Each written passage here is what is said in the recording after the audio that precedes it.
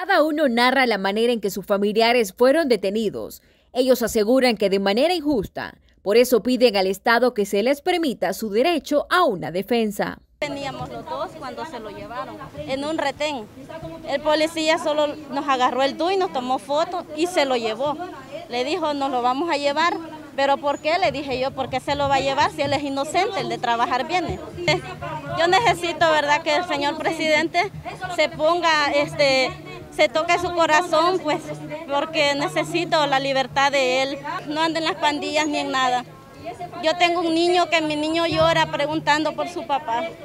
Entonces yo no hay que decirle a mi niño. Además señalan que han acudido a la Procuraduría para solicitar un defensor y que estos no están respondiendo por las personas detenidas sin justificación. Por la situación de mi hijo, tengo cuatro meses casi que no lo miro, no sé nada de él no sé en qué situaciones está.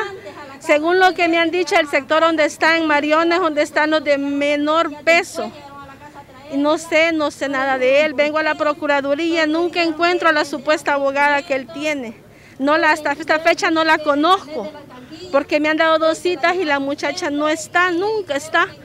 No me dice nada, no sé, para decirle que la primera audiencia me di cuenta por Facebook, por un listado que encontré en Facebook, me di cuenta que a él le habían hecho la primera audiencia. Ella no me dijo ni siquiera eso. Estas personas llegaron hasta la Asamblea Legislativa para solicitar que sus familiares sean acreedores de una defensa donde se pueda demostrar su supuesta inocencia.